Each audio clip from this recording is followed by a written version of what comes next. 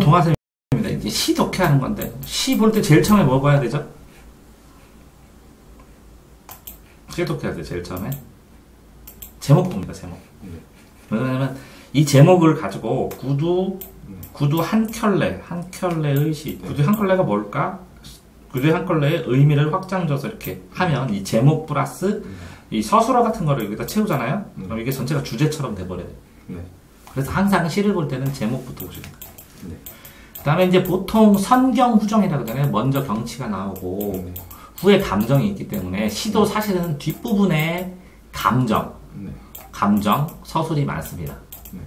근데 이제 후정이라고 하는데 이 시의 감정은 정서라고 그러거든요. 정서. 네. 이 정서는 어디에 있냐? 서술어에 많습니다. 서술어. 왜? 이 서술어가 슬프다, 기쁘다, 뭐 이렇게 체언에 안 나오고 주어하고 목적어는 체언은 딱딱해가지고 명사잖아요.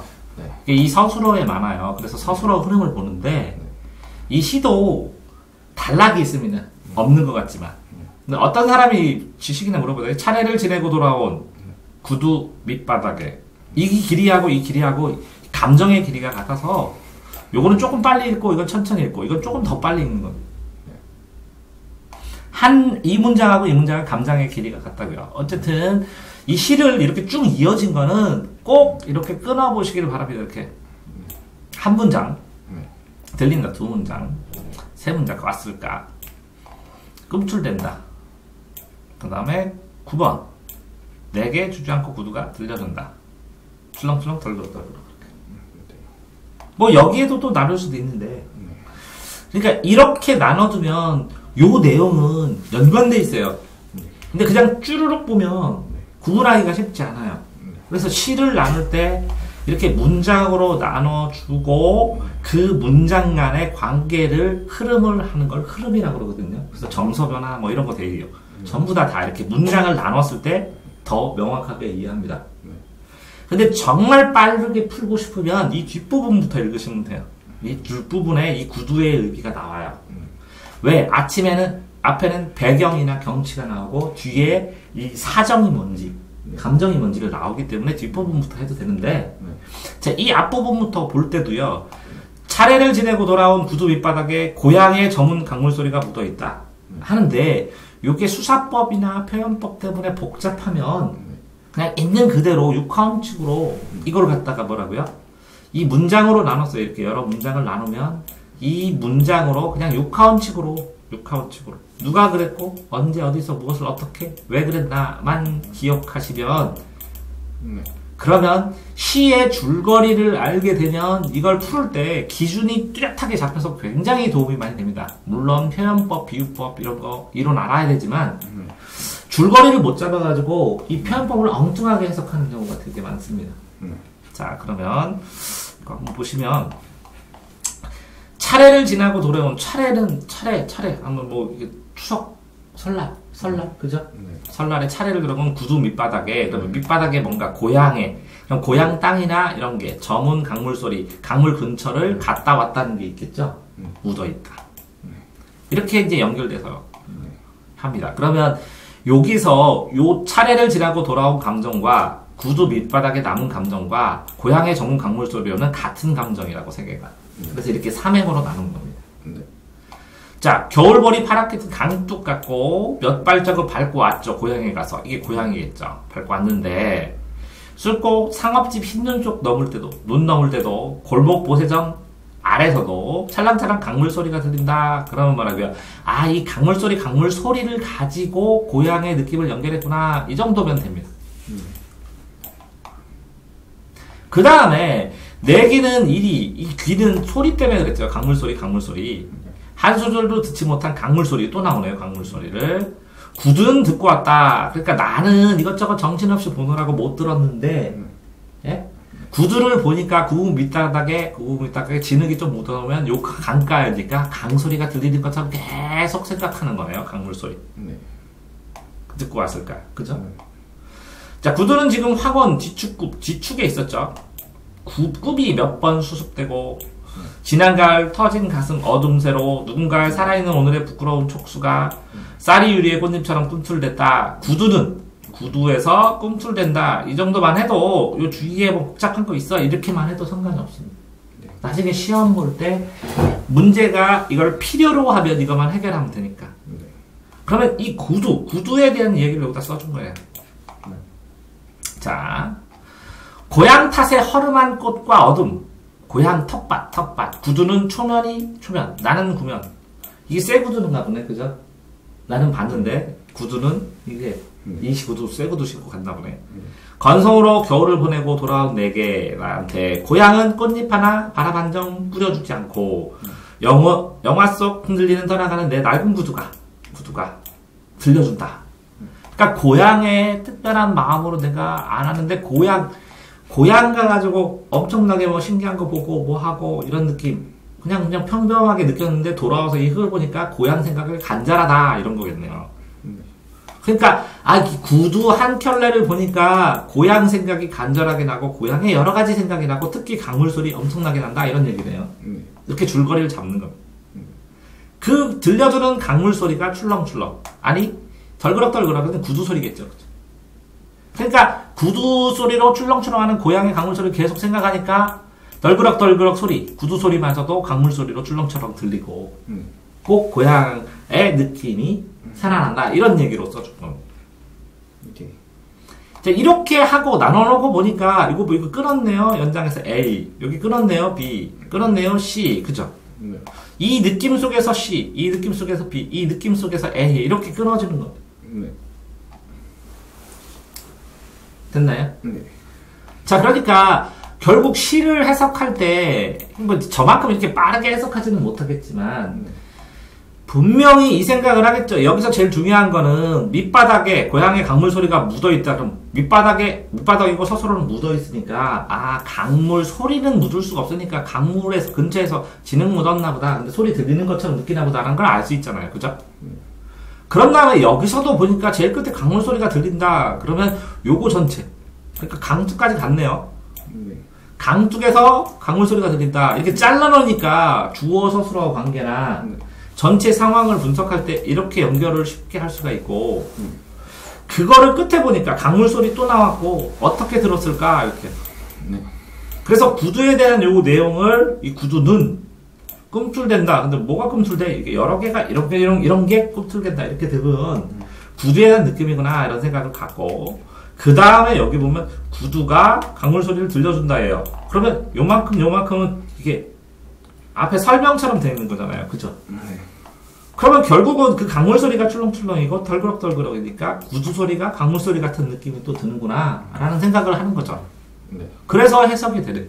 네. 그러니까 결국은 이 시를 해석하면서 요만큼의 내용이 있으면 이걸 잘라서요. 여기 중요한 거, 여기 중요한 거, 여기 중요한 거를 이렇게 잘라서 이렇게 연결해서 흐름을 잡아야 이걸 흐름을 빨리 잡아야 그 다음에 이 흐름을 바탕으로 해서 나머지들을 해석을 하는 거거든요. 네.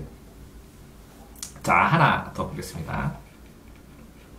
이제 이 구두 한 켤레의 시는 좀 자주 봤던 거고, 문태줄의 극비는, 극변은 많이는 안 본 것 같은데, 한번 보시면.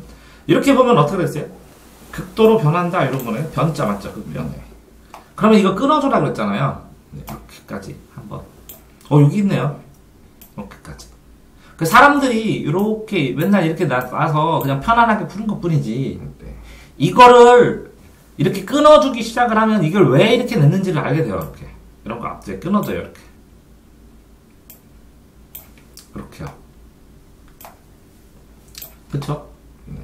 자, 그럼 한 번 더 보면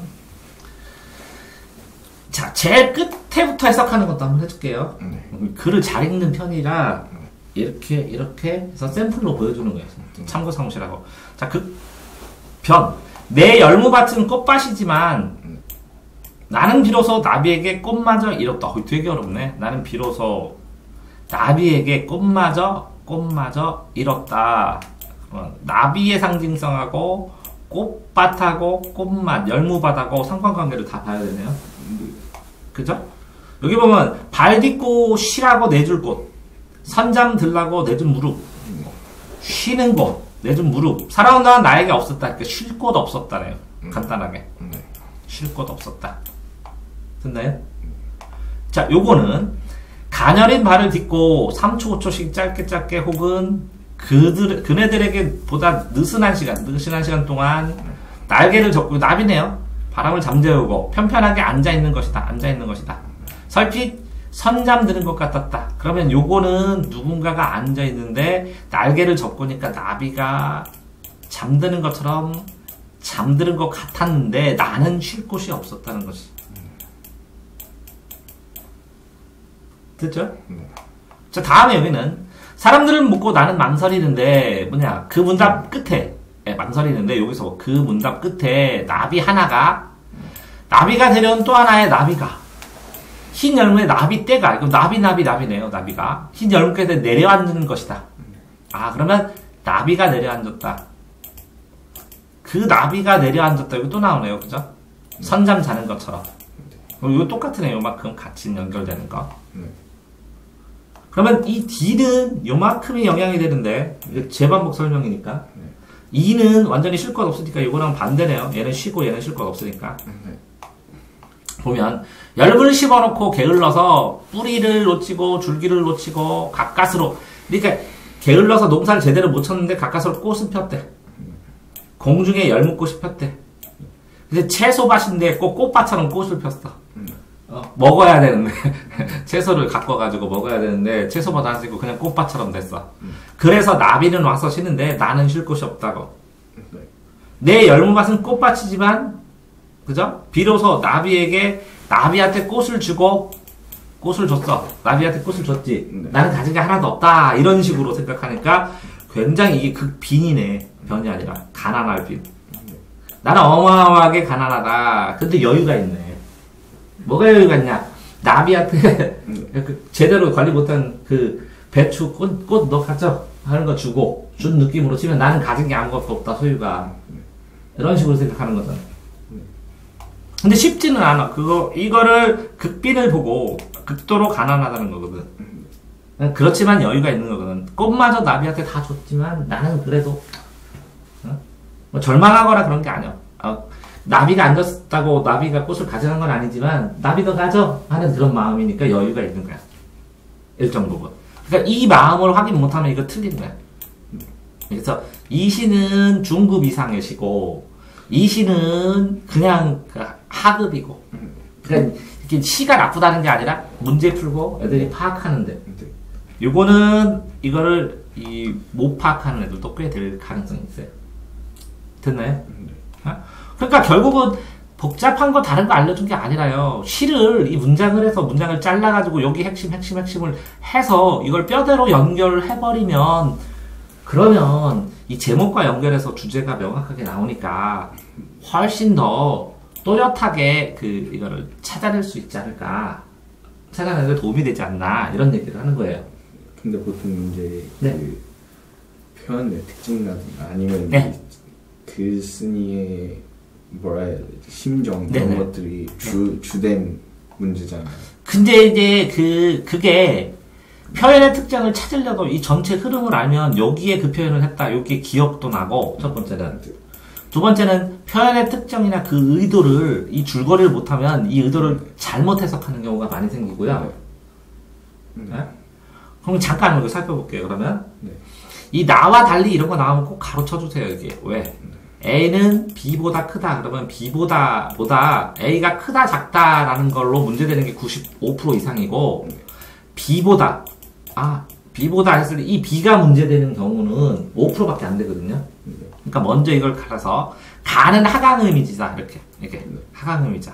근데 이제 무슨 문제는 뭐냐면 하강음이지든 상승음이지든 여기에 나와 있는 이 문제들이 전부 주제와 연관이 없잖아요. 네. 이 여기서 하강 이미지를 쓰면 요 구두 한 컬레의 느낌을 표현하는데 필요하기 때문에 하강 이미지를 사용해요. 주제에 뒷받침하기 위해서, 주제를 뒷받침하기 위해서 표현법이나 수사법을 쓰거든요. 네. 그래서 진짜 1등급에서 거의 만점 가까이 되면 주제 연관성이 거의 40문제에서 뭐 38문제, 35, 37문제 이상은 주제랑 연관된다는 거를 느끼게 돼요. 그러니까 응, 여기 가와 달리 응. 가, 아, 간 나와 달리니까 그러면 결론적으로 가에 하강 이미지가 있느냐. 그거만 확인하면 돼요. 네. 근데 이거 주제와도 연관시켜 보시라는 거지. 이게 최고로 고난도 기술이라는 거지. 예. 자, 나는 이걸 쥐고 현재형 시제를 쓰느냐. 근데 이 주제가 현재형 시제가 적합한가를 보는 거예요. 네. 자, 가나는 모두 색채. 그럼 여기에 색채가 있나? 네. 가나는 모두 청자를 명시적으로 누가 듣는지를 명확하게 했느냐? 네. 그럼 청자가 너야, 나비야 하고 부르든지 이런 뜻은 아니면 청자가 누가 듣고 있는지를 확실히 얘기를 하고 있냐는 거지. 네. 그다음에 모두 반어적인 표현으로 되어 있느냐 이렇게. 그런데 여기에서 응? 이거 모두 모두지만 얘는 뭐라고요? 나는 고양 소리 하나도 안 들었고 왔다고 했지. 네. 근데 이제 듣고 왔지 사실은. 네. 얘도 확실히 자기 가난하다고 극도로 가난하다고 했는데 확실히 주는 느낌도 있고 그래서 이런 건 세모 전체적으로 그러면 요거 하강 현재형 색채 이걸 다 찾아서 확인해야 되는데 실제로 이렇게 줄거리를 잡은 다음에 이걸 다시 읽으면 색채를 확인해도 헷갈리지가 않아요 이 부분이 뭐 하는지를 알기 때문에 그게 더 명확해진다는 거죠 네. 이제 요걸로 성취한 요거를 한 명시적으로 하게 되면 이게 되게 드물거든요. 청자가 명시적인 경우는 네. 왜 그러냐면 독백하든지 고백하든지 하는 게 시예요. 독백이나 고백하는 것처럼. 그래서 여러 사람이 들어요. 네. 근데 청자를 딱 정해놓잖아요. 여기다가 그럼 특정돼요. 독자들이. 네. 그래서 말하는 사람 말고 이렇게 청자를 특정시키면 어, 시쓸때 굉장히 이 듣는 사람이나 하는 사람들이 좁아져 버려요. 색채는 색깔, 흰색, 검은색, 무슨 색 이걸 찾아야 되고 명확하게. 예. 현재형 시제는 이게 들린다, 있다, 듣는다. 이거는 현재 현재 구두의 모습이니까 현재형으로 쓸만하죠. 네. 그다음에 그러면 이 두 번째 걸로 현재형 쓰, 아 이거 나 나 요거는 현재형 드는데 그러면 요거 자체도 틀렸네 나와 가와 달리더 네. 현재형으로 쓰여졌잖아. 네. 그러면 요것도 이게 가꾸었느냐 망설이냐 것이 없다. 아, 그럼 다 같았다, 없었다, 잃었다 하는데 과거형은요? 네? 과거형. 아 그러니까 현대형이 안 되면 지워나가고 해나가는.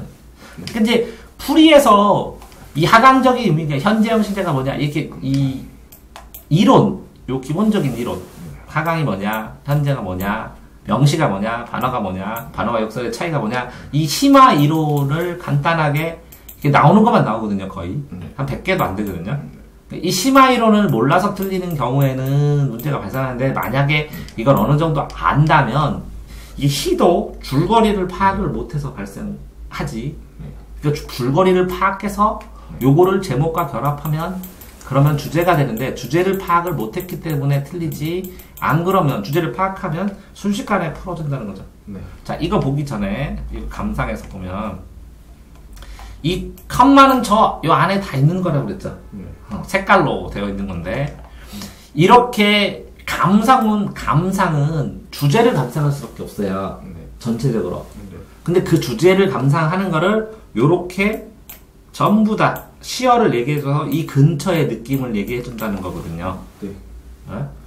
그런데 이거를 끊어져서 요거하고 요거랑 1대1 대응시킨 다음에 다시 또 이쪽으로 넘어가가지고 찾아야 돼서 근데 요렇게 보기하고 선택지를 대응했을 때 세 개는 없어지고 두 개 정도가 남아요. 네. 이게 좀 이상하다라는 게. 네. 그걸 우선순위로 여기 가서 찾으면 된다는 거죠. 네. 근데 문제는 이 보기를 명확하게 핵심 단어를 찍어내면 요 그 단어가 번역된 단어가 여기에 나오거든요 또 네. 그래서 다 찾아야 된다는 거죠 이게 특정 대상이 계기 계기가 있어야 되고 반성이 있어야 되고 성찰이 있어야 되고 그 다음에 고양이 대한 그러니까 고양을 신은 채로 네. 신고 갔던 구두를 통해 그러면 이게 어느 매개체로 이런 뜻이겠지 통해가. 그 다음에 자 이걸 보라 보니까 성찰 반성 이렇게 되는 거고 나비를 계기로 이것도 계기 계기네 똑같이. 근데 이거는 구두를 계기로. 요거는 나비를 계기로 이거는 배려하는 잘못해도 깨달음 그럼 요걸 통해 이거는 성찰하는 요거는 배려하는 이 차이로 요게 쭉 나오겠네요 네. 그래서 매개체라는 단어가 나오든지 예, 무심했던 모습, 부끄러운 촉수. 그러니까 이게 요 상황에서 그 부분을 가서 그 줄, 줄거리가 이렇게 얘기를 하면 이제 기승전결처럼 이야기가 있잖아요, 줄거리. 네. 줄거리 앞단계냐 뒷단계냐에 따라서 또 달라질 수 있으니까 시를 읽지 않더라도 대략적인 이게 어느 수 부분에 나오냐 그러면 예측을 할 수가 있다는 거죠. 네. 자, 요거는 냉혹한 현실. 자신의 삶을 되돌아보는 것. 고향의 모습은 화자가 처한 냉혹한 현실을 이거는 안 나온 것 같은데. 아, 나비를 보라 그런 것, 화자의 반응, 사람들의 반응에서 여기 질문한 거 아까 나온 것 같고. 그 다음에 의미하는 것, 살아오는 동안 없었던 삶에 대한 화자의 성찰. 그 어느 정도 읽으면 배려. 이제 비슷한 나누면서 나오고 여기 특이한 게 사람들은 묻고 나는 명사라는데 내가 말하면 사람들이 청자겠죠. 네. 이렇게 특정되는 거. 네. 뭐 이게 특이한 거라 체크해 놓으면 나중에 나오는 거겠죠. 네. 그러니까 이제 문제 풀 때 실제로 이렇게 줄거리를 잡아 놓으면 이게 굉장히 자세하게 푸는 거예요. 네. 어, 시도 이 선택지부터 하고 명백하게 시도 이게 짧아가지고 이렇게 끊어서 대략을 본 다음에 스크랩 했잖아요 두 가지식으로 비브나또 네. 그죠? 그런 것처럼 이것도 대략적으로 끊어서 대략적으로 무슨 얘기인지만 본 다음에 선택지에 있는 단어 다 체크한 다음에 여기 들어가서 다시 확인하면 되거든요. 네. 이 특이한 번호 선택지를 확인하면서 네. 그랬을 때 초스피드로 풀게 되는 거죠. 자 이것도 보면 아는 거 보면 찰랑찰랑 출렁찰랑 어감 변화 화자의 정서 심화되고 있다. 이거는 기본 이론 조금 심화가 돼야 돼요. 네. 아, 이런 상황에서 이런 의성 의사를 언제 쓰이느냐, 아, 뭐 이런 것들. 네. 근데 모르면 세모 쳐야 되는데 이게 딱 달려들지 말고 다음에 화자 과거 경험. 근데 이건 확실히 네, 맞는 거잖아요. 네. 찰랑찰랑 출렁출렁 딱 들었을 때 무조건 이건 변화가 있다. 조금 더 강하게, 심하게 양성 모음과 음성 모음에 따라서 네. 크기가 달라지고 그러니까. 네. 근데 아닐 수도 있으니까 세모 치는 거지. 끝까지 읽겠다는 거지. 답이 아니라는 것도 아니고 답이라는 것도 아니지만. 그죠? 어, 과거 경험이 내포되어 있다. 짧게 느슨한 대비를 통해서 주제를 다르게 받아들인다. 네. 편편하게 설피타를 통해서 예기치 않게 상황이 긍정적으로 작용했다. 가까스로 비소를 통해서 의도가 실현되지 못한 상황에 대한 안타까움이다. 아니지 이게. 이게 완전 주제와 완전히 다른 거지, 그치? 예? 그러니까 이게 주제 파악을 요걸 풀 수 있을 정도면 쉽게 이걸 딱 쳐서 맞을 것 같은데, 그치? 네. 이걸 풀 수 있을 정도면 글 읽는 능력이 좋은 건데, 내가 말하는 거는 쉬운 거를 더 빨리 풀어가지고, 네. 어려운 거를 차근히 보면 네 점수가 급격히 올라갈 거라는 거지. 다 풀고. 네. 그러는 상황에서 쉬운 수거는 내가 네가 아는 거야. 아는 거면 이렇게까지 안 봐도 되는데 얼핏 봐도 이 3, 4초 보도 알잖아. 글 읽는 사람들은 쭉 보면 아 이거 좀 어렵겠다 이렇게. 네. 그런 거는 이렇게 풀어주라는 거지. 다가 아니라. 네. 그러니까 어려운 거를 집근을 할때 어떤 식으로 체크를 하고 어떤 식으로 봐야 되는지 네. 예, 시 전체에서 라고 얘기를 하면서 여러 가지 방법이 있고 시 이론도 다 다음에 뭐 또 따로 추가로 하겠지만 이걸로 다 끝나는 건 아니니까 또 해주겠지만 이렇게 시도 이렇게 뭐라고요? 단락을 나눠줄 필요 요 단락 안에서 핵심어를 뽑을 필요 이걸 연결될 필요가 있다는 거는 인지를 해줬으면 좋겠다는 거지. 네. 그러면 훨씬 더 명확하게 이해된다는 거지 지금 네. 됐습니다. 눈산동 동화쌤입니다